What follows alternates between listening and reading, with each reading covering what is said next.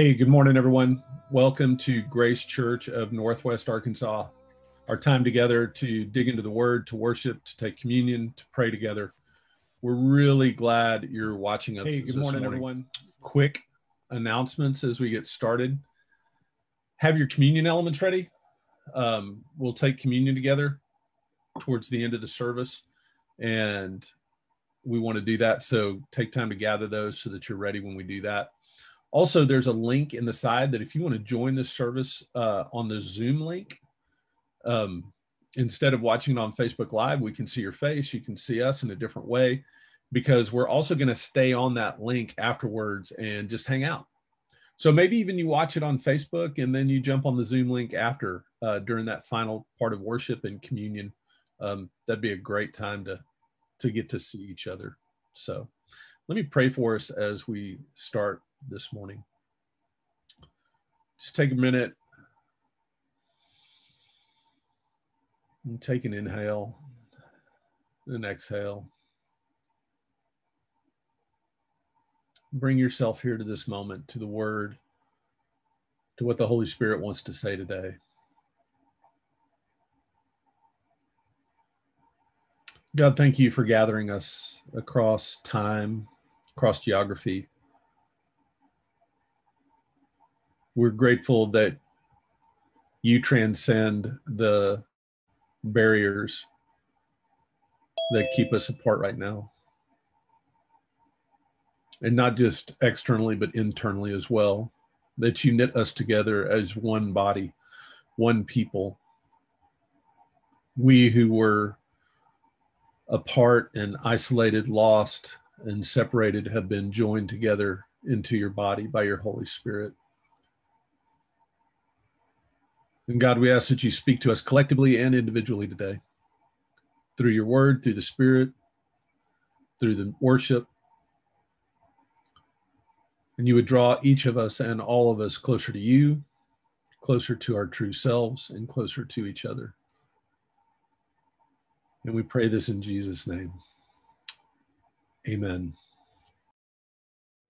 Good morning, Grace Church. Uh, so good to be here with you this morning. As usual, we're doing things a little different and mixing up the location. Alex and I here, um, distance out at um, 2828 uh, to kick off worship this morning. And the first song that we're going to be doing is straight from the text that you'll be hearing from John here in a couple minutes um, from Isaiah 6. Um, it's actually someone, Todd Agnew, has put to um, music. And so we'll be singing a little bit of the text before John jumps in. So sing with us here, um, Isaiah 6.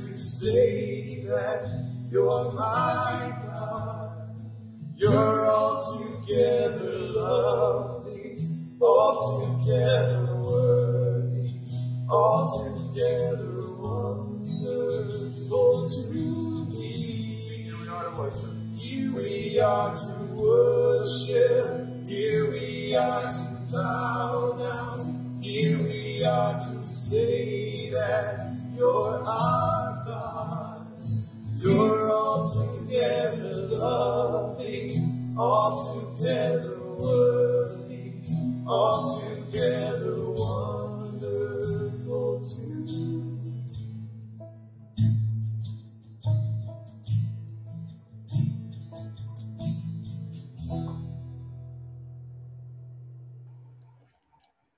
Hey, welcome again, everybody.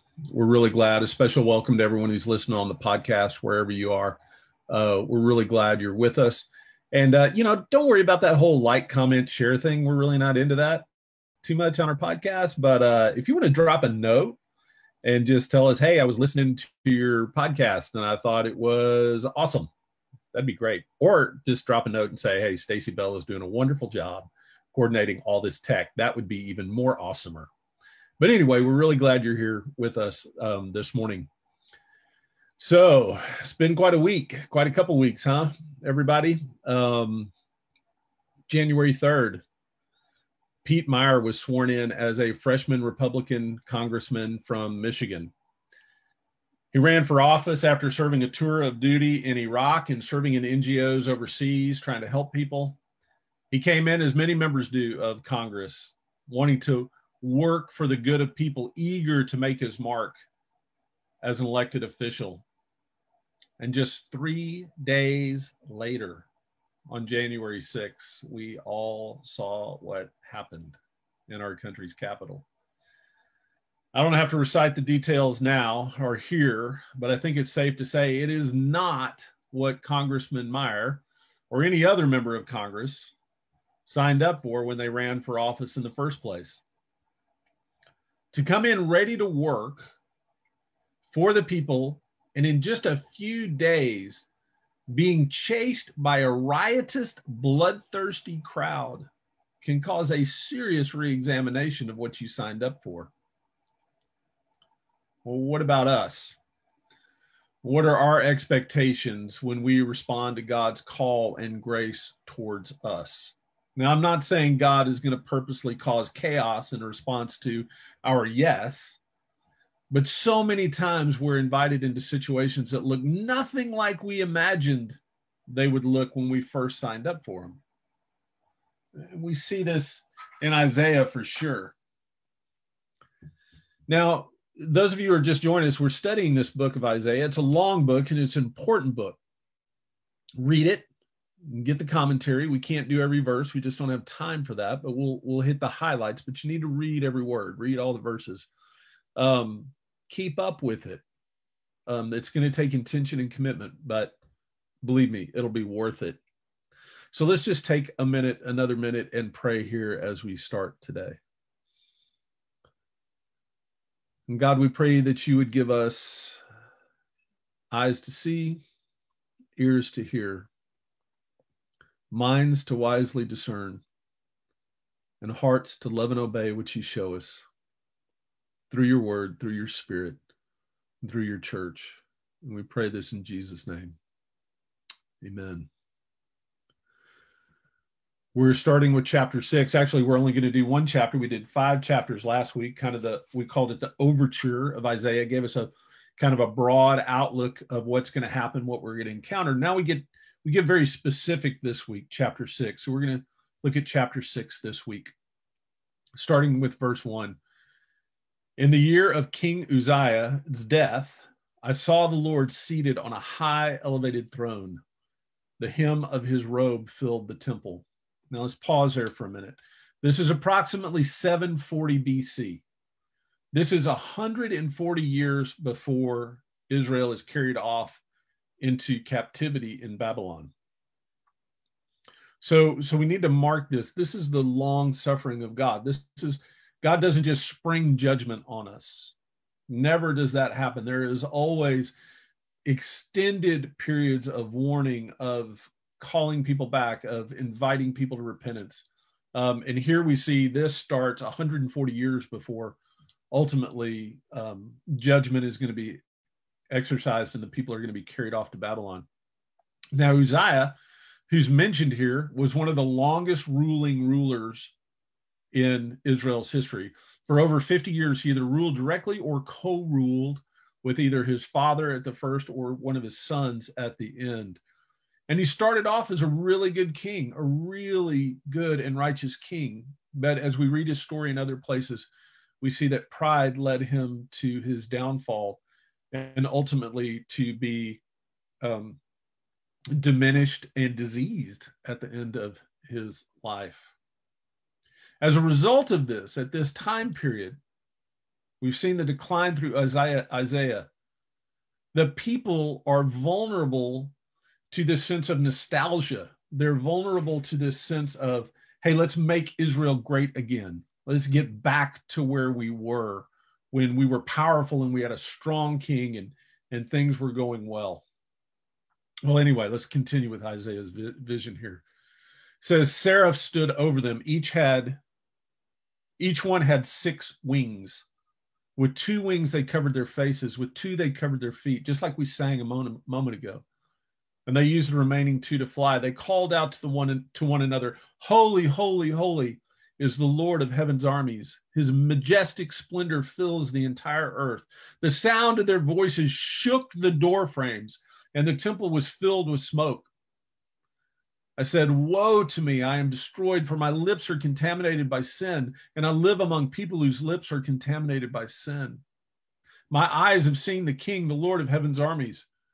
But then one of the seraphs, and seraphs here literally means fiery ones, flew towards me. His hand, in his hand was a hot coal he had taken from the altar with tongs. He touched my mouth with it and said, Look, a coal has touched your lips, your evil is removed, your sin is forgiven. And I heard the voice of the Lord say, Whom will I send? Who will go on our behalf? And I answered, Here I am, send me. Let's pause here for a minute.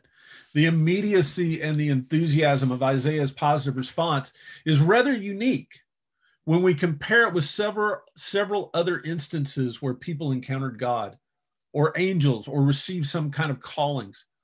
Think of Jeremiah's hesitancy and Moses stammering and Jonah's flight out to sea. For Isaiah, there's no hesitation, there's no excuse, there's no contingencies, no what ifs. And it and if this shows a marked contrast with other prophets and leaders, it also shows a stark contrast with how the general public, how Israel is going to receive the message. Well, let's go on. He said, This is God speaking.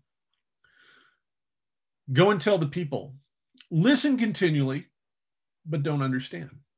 Look continually, but don't perceive. Make the hearts of these people calloused and make their ears deaf, their eyes blind. Otherwise, they might see with their eyes and hear with their ears. Their hearts might understand and they might repent and be healed century later, centuries later, Jesus would quote these very words as to how most people would receive his words. Isaiah replies, How long, Lord? He said, Until the cities are in ruins and unpopulated, and houses are uninhabited, and the land is ruined and devastated. And the Lord had sent the people off to a distant place, and every heart of the land and the very heart of the land is completely abandoned. He's talking about the the captivity to come 140 years in the future. Even if only a tenth of the people remain in the land, it will again be destroyed like one of the large sacred trees or an Asherah pole. When a sacred pillar is on a high place is thrown down, the sacred pillars symbolize the special chosen family. You know, I wonder if Isaiah immediately regretted raising his hand and offering to go when he heard the message he had to preach.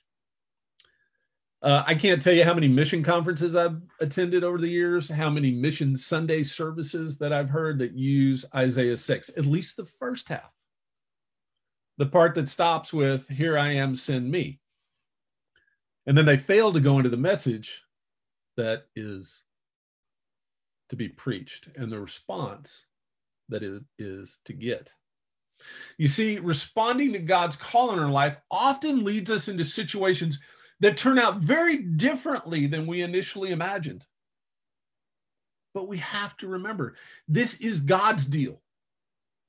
It's not ours that we're being invited into.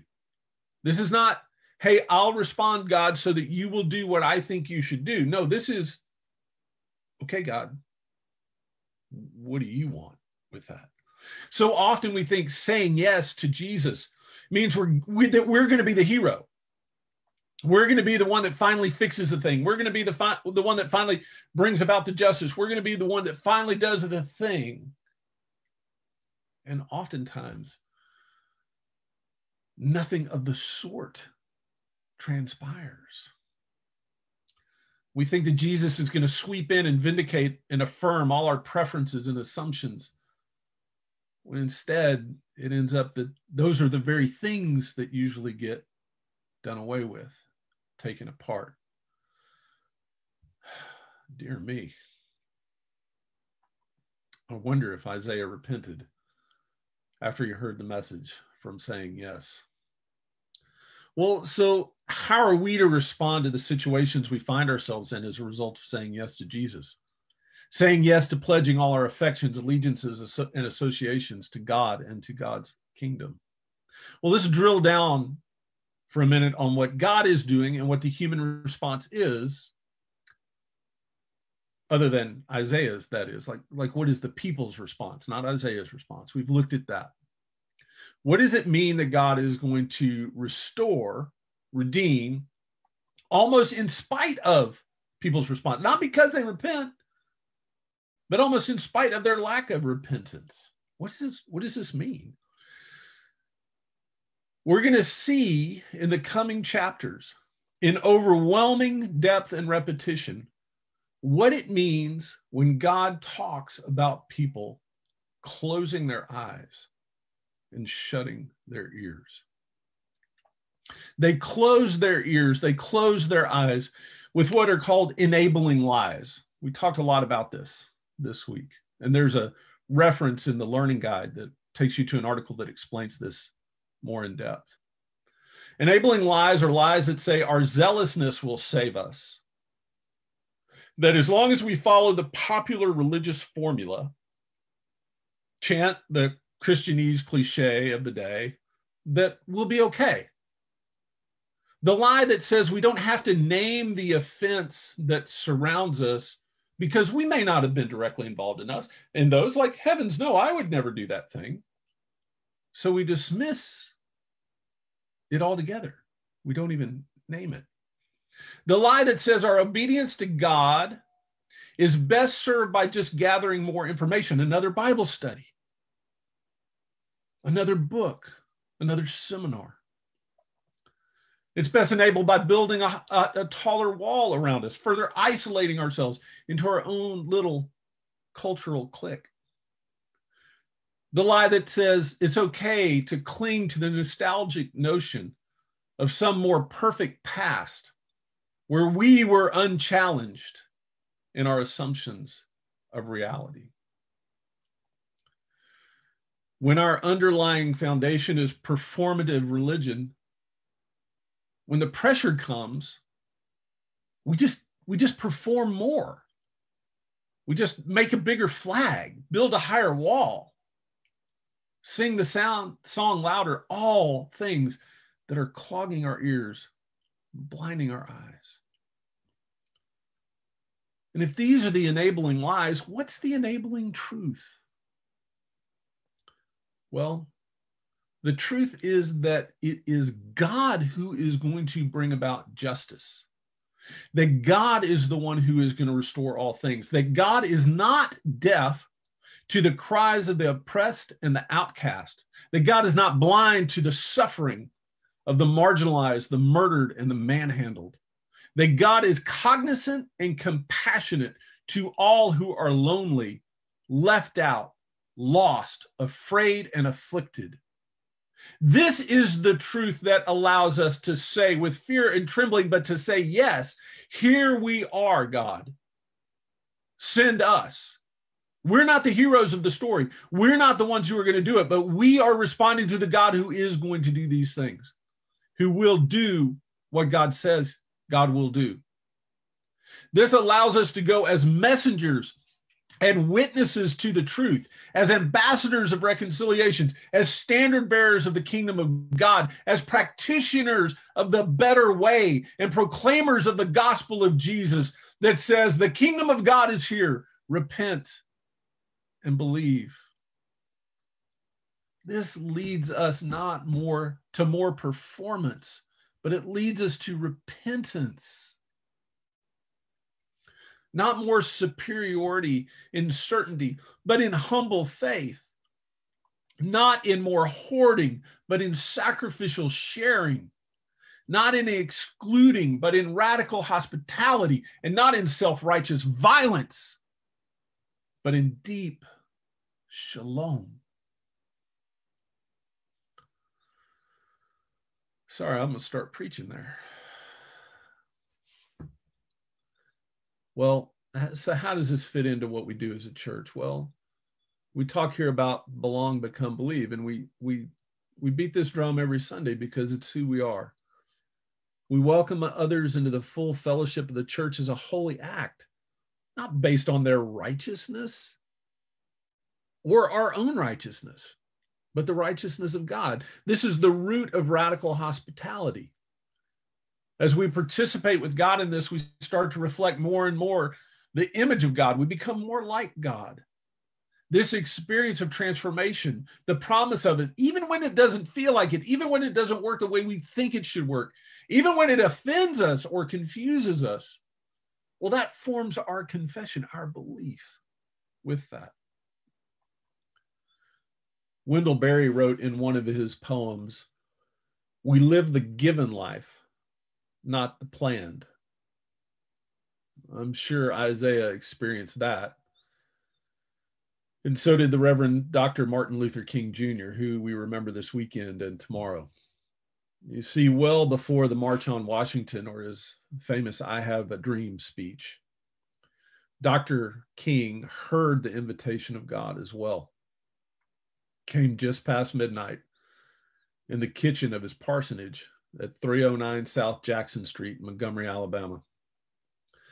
And unlike the temple experience of Isaiah with angels and fire and smoke, Dr. King was surrounded by dishes and seated at an ordinary kitchen table. The only thing smoking was the steam off his cup of coffee. Dr. King was 27 years old. Think about this 27 years old. Just two years into his role as the pastor of Dexter Avenue Baptist Church. He just recently stepped in to lead the Montgomery bus boycott. This decision opened the floodgates of death threats by letter and by phone, sometimes as many as 30 or 40 calls a day, most of them at night. Dr. King would usually just put the phone back down and go back to sleep. But on the night of January 27th, 1956, he was shook. As his wife and 10 week old daughter slept nearby. The caller on the other of the line called him what we all know.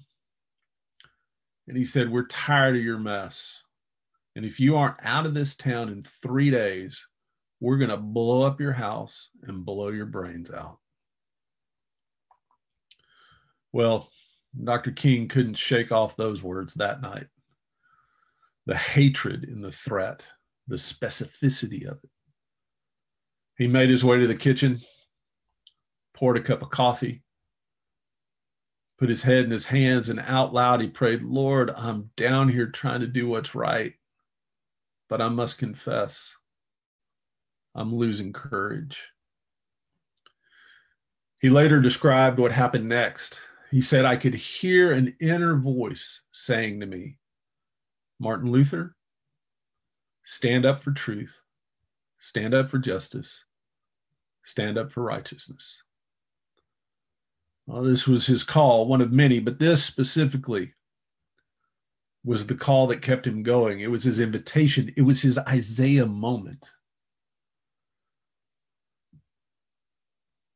But it didn't stop the threats. And because he refused to back down, several days later, they did blow they did set a bomb. It went off on the steps of his house. Now, at that point, no one was hurt in that, but they followed through on what they threatened. And even though he was leading this bus boycott, we look back on the great works that he did through his life, that all the standing up for justice, calling out white supremacy. Most people don't know that Dr. King didn't ride buses he was privileged for a black man of that era. As a respected pastor, he was well provided for. He could have stayed safe, driven his own car wherever he needed to go, made sure his family didn't have bombs planted on their front porch. He could have stayed well provided for if he had kept quiet on these things. Well, thank God he didn't. Thank God he didn't believe the enabling lies that perpetuate injustice. What about us? C.S. Lewis once wrote The great thing, if one can, is to stop regarding all the unpleasant things as interruptions of one's own or real life.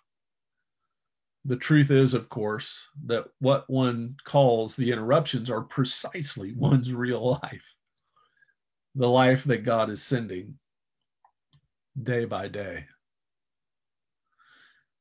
Angels in the temple or a quiet inner voice over a cup of coffee in the kitchen, all of us are being invited to respond to God's call, not as the hero of the story, but as witnesses and messengers. The question is still being asked Who will go?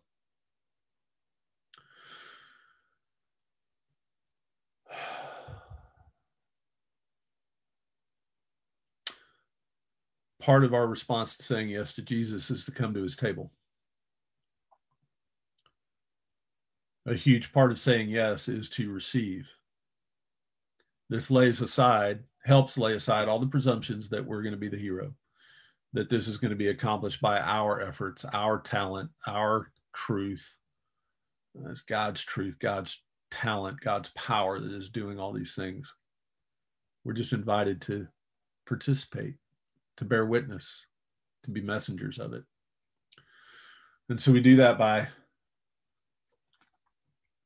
remembering what Jesus told us to remember when he was with his disciples that last night.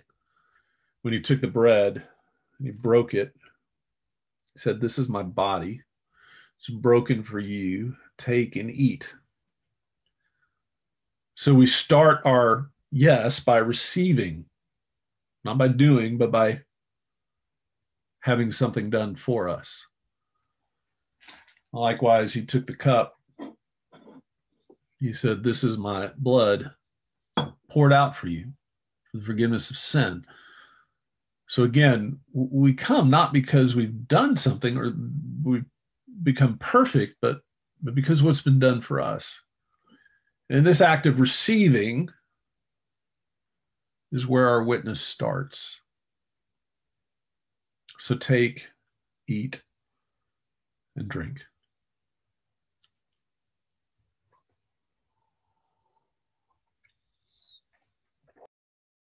Oh God, be my everything, be my delight, be Jesus my my soul satisfied. Oh God,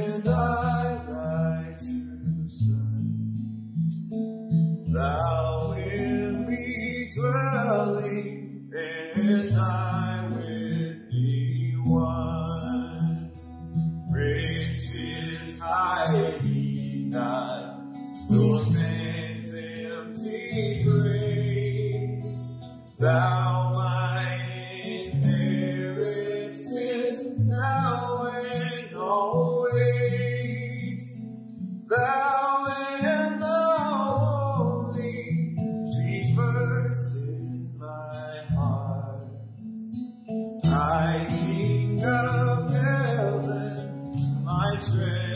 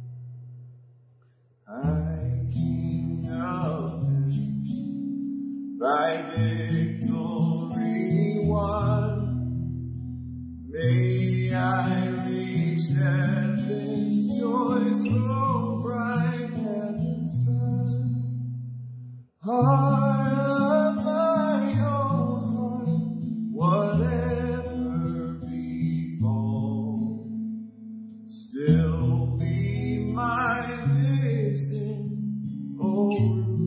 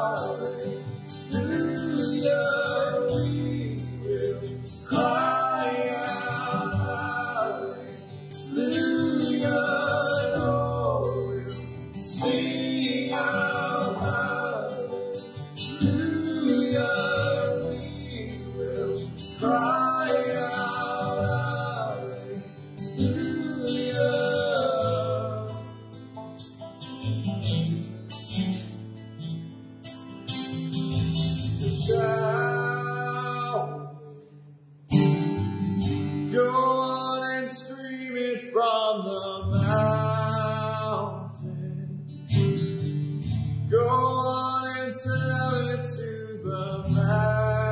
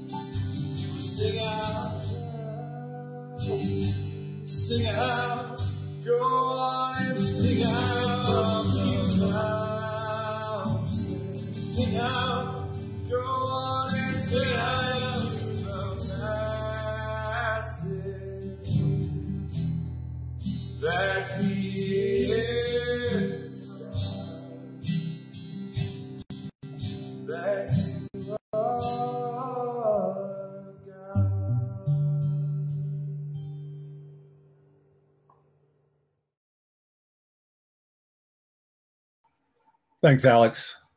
Thanks, Jeff. I want to invite everyone again, jump on the Zoom link just to hang out after the service, uh, check in on everybody, see how everyone's doing.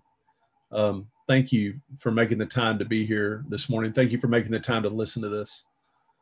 And here's our benediction Grace Church, go now with a heart and mind willing to walk as you have been called, to accept the challenges and difficulties that are set before you be strengthened and sustained. May God help you to find assurance, rest, and affirmation in God alone and in all you do. In the name of the Creator God, the Messiah, and God the Holy Spirit. Amen. Grace and peace, y'all.